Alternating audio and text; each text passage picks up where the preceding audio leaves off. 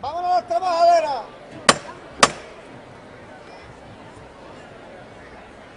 A ver cómo llevamos al señor de la federación. Como ustedes sabéis, estamos puestos. Vámonos hasta el cielo con él. ¡Este!